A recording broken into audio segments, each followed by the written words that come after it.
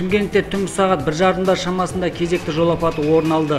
Қабанбай батыр даңғылы мен әйтеке би көшесінің қиылысында тәуелсіздік бағына қарсы бетте тойота автокөлігінің жүргізушісі рөлді басқара алмай қалып жолдан шығып кеткен.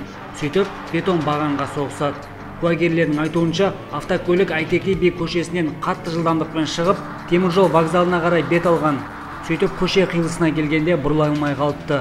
Соққы қатты болғанына қарамастан жүргізуші ауыр жарақат алған жоқ. Оның өмірін қауіпсіздік белбеуі жастықшалар сақтап қалған өзі ауруханаға барудан бас тартты қазіргі кезде осы мәселенің мән жайын әкімшілік полиция басқармасының қызметшілері анықтап жатыр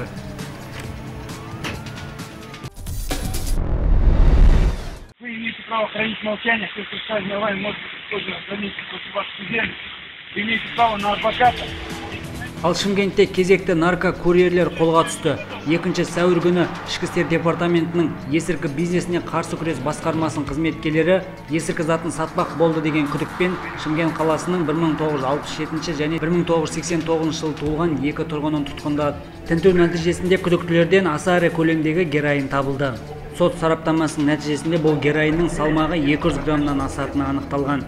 Қазіргі кезде есірткі затын заңсыз сақтау әзірлеу және сату әрекетіне байланысты қылмысты іс қозғалды. Күдіктілер қамауда жатыр.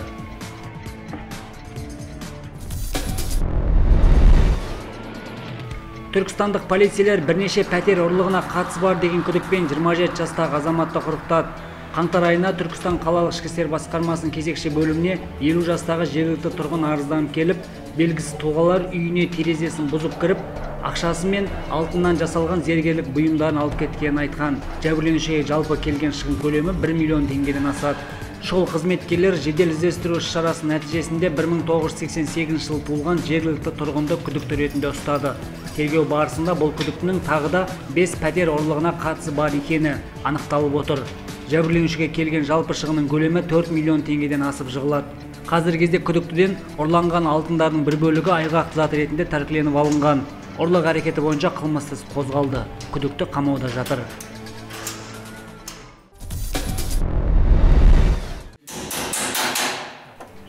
Күндізгі сағат екілер шамасында төтенше жағдай департаментінің құтқару жасағына 18 шағын аудандағы 5 қабатты үйден суыт хабар түседі. Хабарласқан көршілердің айтуынша 80 жастағы әйелге көмек қажет. Ол ваннаға түсіп шомылған соң құлап қалыпты. Оқиға орнына келген құтқарушылар бірнеше минуттың ішінде пәтердің есігін бұзып ашып ішке кірді. Анық болғаны бұл әжей жуыну бөлмесінен шыққан соң еденге құлап қалған. Оның айқайлаған дауысын көршілері естіп құтқарушыларға хабар беріпті. Мамандар жарақат алған азаматшаны жедел жәрдем дәрігерлерінің қолына тапсырды. Қазір оның өміріне ешқандай қауіп төніп тұрған жоқ.